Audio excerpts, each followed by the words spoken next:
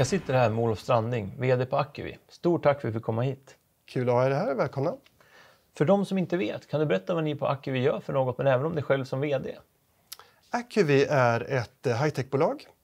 Eh, och det vi gör är att vi hjälper våra kunder med extremt hög precisionsförflyttning.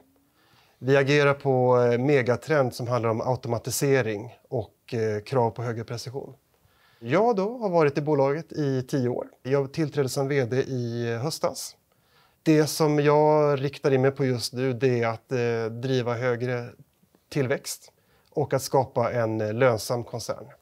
Vilka är några av de viktigaste strategiska målen för Acuvi på kort respektive lång sikt?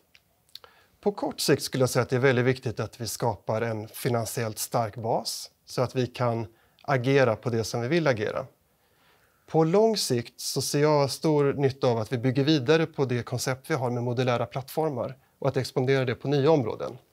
Eh, nyttan med modulära plattformar är att vi kan hjälpa våra kunder till kundanpassade lösningar för dem, men som för oss är kommersiellt relevant. Det blir billigt och vi får en hög lönsamhet i bolaget. Ni har nyligen kommunicerat ut att er prognos för helåret är 190 till 210 miljoner i omsättning med en ebita om 38 till 46 miljoner kronor, vilket är en ökning från, från föregående år. Vad krävs skulle du säga för att klara den här prognosen? Jag skulle säga att nyckeln till det här det är att vi lyckas med tillväxten i försäljningen. Och 10% tillväxt är bra för många bolag. För oss så har vi långsiktigt högre krav än det är. Eh, vi, kom, vi har kommunicerat halvårssiffrorna och eh, halvåret hamnar vi på mellan 90 och 95 miljoner i omsättning. Och normalt sett är vårt andra halvår eh, starkare. Så jag skulle säga att eh, når vi första halvåret så är det goda chanser att nå det andra halvåret. Eh, vinsten blir lite ett resultat utav att försäljningen kommer in. För vi har en fast kostnadsbas och ökad försäljning driver på och går igenom hela resultatet. Så att det, vi får en väldigt stor andel vinst av varje försäljningskrona. Du nämnde lite grann tillväxt här och ni har, nu, ni har genomfört två stycken förvärv.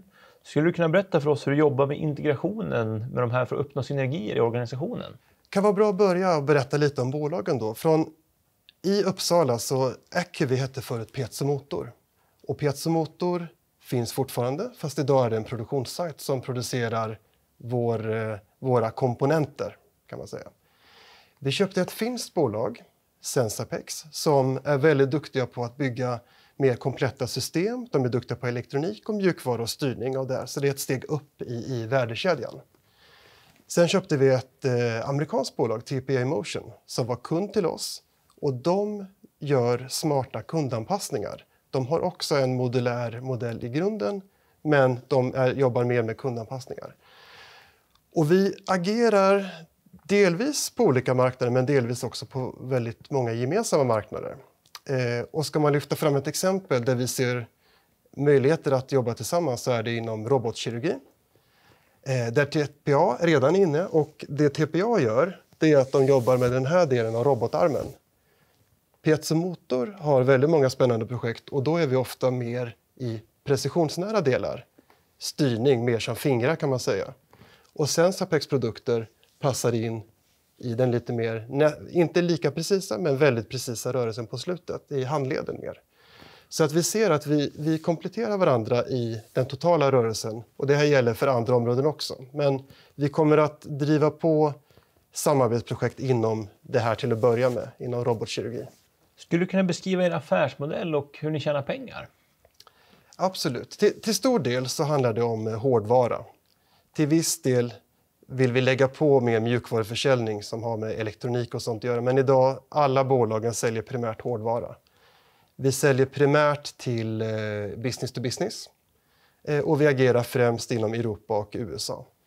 Eh, och det vi gör då är att vi producerar inhouse och vi utvecklar inhouse och vi säljer produkter till våra kunder. Det är i korthet det som vi gör. När vi är ändå inne på siffror här, skulle du kunna dela med dig av några nyckeltal i finansiella mått som är relevanta för att bedöma Acuvis eh, vad ska man säga, tillväxt och prestation? Mm, absolut. Eh, försäljningen är såklart viktig och eh, den kommer vi driva på eh, genom bland annat det som jag sa att vi hittar samarbetsprojekt där vi får ut större synergier av att agera gemensamt. det är också viktigt att vi håller vår kostnadsnivå så att vi levererar ett starkt eh, resultat. Eh, och det vi har sagt är att vi ska öka successivt mot ungefär 25 procents ebitda.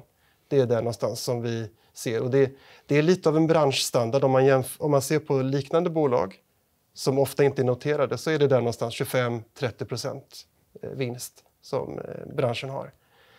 Och sen är det viktigt också att vi faktiskt får ut det här i en ökad kassa, ökad kassa så att vi får ut eh, pengar i slutändan.